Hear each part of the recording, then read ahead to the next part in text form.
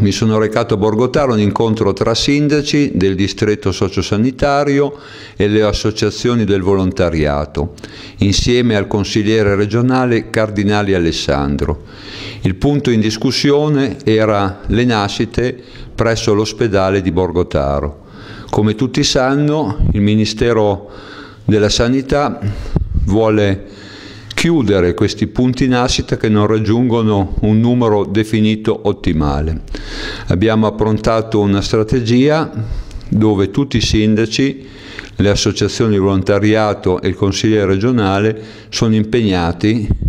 concordando una linea anche con altri ospedali di montagna per mantenere questo essenziale servizio che tutti i sindaci ovviamente vogliono mantenere, visto l'importanza per tutta la popolazione montana dell'ospedale di Borgotaro. Io ho colto l'occasione e sono sembrato un UFO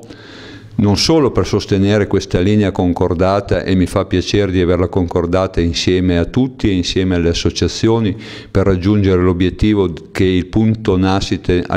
nell'ospedale di Borgotaro rimanga ma ho anche fatto presente che i sindaci debbono svolgere un ruolo politico, quindi dobbiamo ritornare a parlare di politica e svolgere come sindaci un ruolo politico, perché altrimenti non riusciremo a salvare i servizi che sono in montagna, che sono già carenti.